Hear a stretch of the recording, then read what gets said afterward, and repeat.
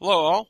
Um, I thought I'd do a follow-up on um, fixing uh, your Plymouth splash screen if you install proprietary drivers, um, either AMD or NVIDIA, and uh, how to get a different uh, boot splash screen, um, which is called Plymouth. And I made some notes here. It's uh, it's fairly straightforward.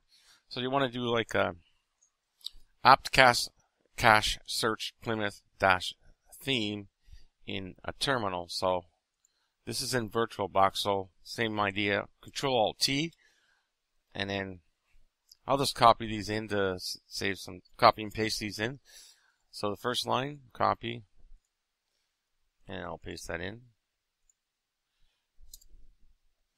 And you can see there's different ones here. Um, one of the popular ones is the uh, solar this one. So I'll copy that. I'll clear the screen and sudo apt dash get install and paste that in. Press enter, password. Once it's finished updating, uh, just one more command, I mean two more commands. Uh, this one, you can uh, sudo um, update dash alternative two dashes config default dot python Plymouth. Sorry, copy that in, um, into the terminal.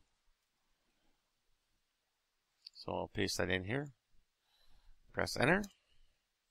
And you can see there's uh, the default is the Ubuntu logo, and the one that we just downloaded was the Solar.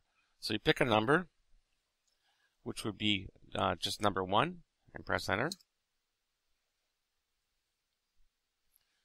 And then finally, we'll update the uh, init RAM file system with that this command. And uh, that should be it. So we'll close out the terminal and close the notes here. Okay, let's try a shutdown and a restart.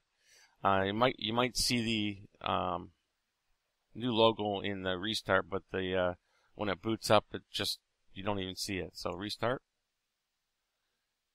There it is. That's the uh, Solar boot screen. Sorry, I couldn't make it more uh, exciting, but uh, that's an example of how you would do that. Oh, there you go. You just saw it very quickly there.